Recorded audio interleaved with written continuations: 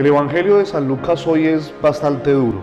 porque viene una serie de réplicas de Jesús hacia los que están encargados de la ley, hacia los que han asumido en su vida el papel de jueces y han permitido que la palabra de Dios de alguna manera se desvirtúe, porque la han manipulado, porque la han querido controlar. Y es un llamado de atención para nosotros actualmente también, porque muchas veces buscamos eso manipular la palabra de Dios para favorecernos a nosotros mismos, para calmar nuestras conciencias y para sentirnos perfectos frente a los demás que tienen alguna dificultad. El Señor nos dé la, la capacidad de tener corazón humilde, sencillo y dispuesto a la acción del Espíritu Santo.